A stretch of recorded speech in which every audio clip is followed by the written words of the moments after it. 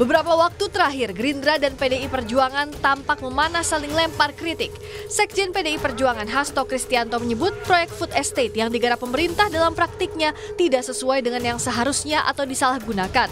Aksi ini dinilai Hasto sebagai kejahatan lingkungan karena dinilai berimbas pada penebangan hutan. PDI Perjuangan ini memiliki program merawat pertiwi. Maka kami mengapa memberikan uh, suatu catatan yang sangat kuat terkait dengan upaya yang telah dilakukan oleh Presiden Jokowi untuk membangun food estate, tetapi di prakteknya di dalam kebijakan itu ternyata disalahgunakan dan kemudian hutan-hutan malah justru uh, ditebang habis dan food estate-nya tidak terbangun dengan baik. Itu merupakan bagian uh, dari suatu kejahatan terhadap lingkungan. Sementara itu Partai Gerindra memandang tudingan proyek food estate bagian dari kejahatan lingkungan tidak benar. Menurut Partai Gerindra, lahan yang disiapkan untuk food estate telah melalui kajian dari Kementerian Lingkungan Hidup dan Kehutanan. Food estate justru disebut sebagai solusi untuk mewujudkan kedaulatan pangan di Indonesia. Nah, tentang anggapan bahwa ini adalah kejahatan lingkungan, saya kira itu tidak benar.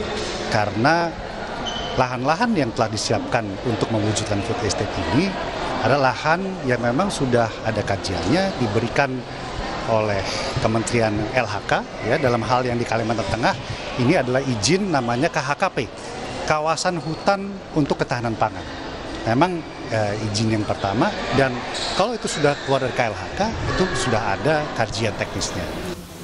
Pengamat memandang Prabowo Subianto dianggap PDI Perjuangan sebagai rival Ganjar Pranowo. Pertama, ini sebagai bentuk pengakuan bahwa sebenarnya Prabowo itu sudah ditempatkan sebagai rival sebagai lawan yang akan dihadapi oleh PDIP yang mengusung Ganjar Pranowo di Pilpres 2024 yang akan datang.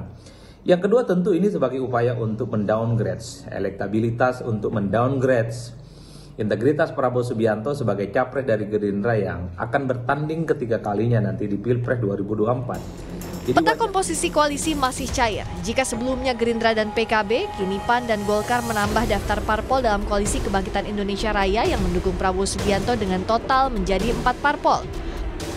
Untuk pendukung Ganjar Pranowo, sejauh ini ada tiga partai politik, yakni PDI Perjuangan, P3, dan Perindo. Sementara baca pres Anies Baswedan yang tergabung dalam koalisi perubahan masih solid dengan Nasdem, Demokrat, dan PKS. Tim Liputan Kompas TV.